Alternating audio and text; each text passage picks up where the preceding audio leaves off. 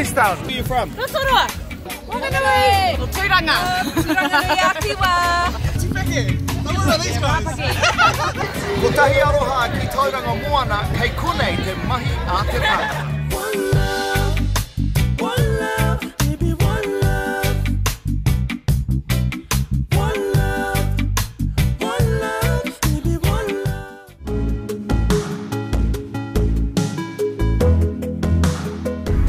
Rā tātou i te iwi, e whakarongo mai nei o koutou kāinga maha.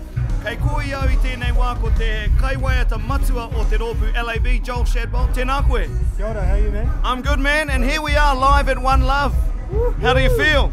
Man, I'm excited. I'm nervous. I'm proud. I'm everything, man. I can't wait to play. It's gonna Yeah. be exciting, man. What do you love about One Love?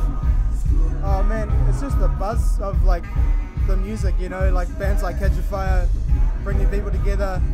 It's just a hell of a vibe, man. It's just incredible to be a part of. Yeah. Bro, talk to me about the journey of LAB. I guess, you know, how long have you guys been playing for now? About Um, four, oh, just on four years. four years, and within that four years, you guys have gone from strength to strength, and particularly, you've just released your second album, eh? Yeah, so we released that in December.